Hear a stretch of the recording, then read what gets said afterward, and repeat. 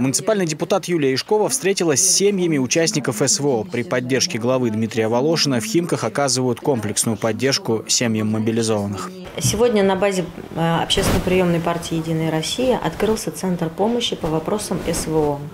И сегодня мы уже приняли первых двух посетителей. Мы обсудили с ними ряд вопросов, а, обсудили э, помощь, которая требуется им непосредственно здесь, а, и а, тем, кто находится сейчас в зоне боевых действий.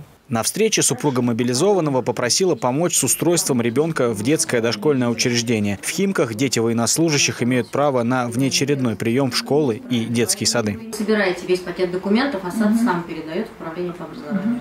На территории городского округа функционирует Центр поддержки участников СВО и их семей. Здесь помогают родственникам военнослужащих решить различные вопросы. Среди них оказание юридических консультаций, оформление путевок в детские сады, запись на бесплатные спортивные секции, помощь в трудоустройстве и организация досуга для детей. Андрей Липанов, Елена Тараненко, Вильфред Дымковский. Новости Химки ТВ.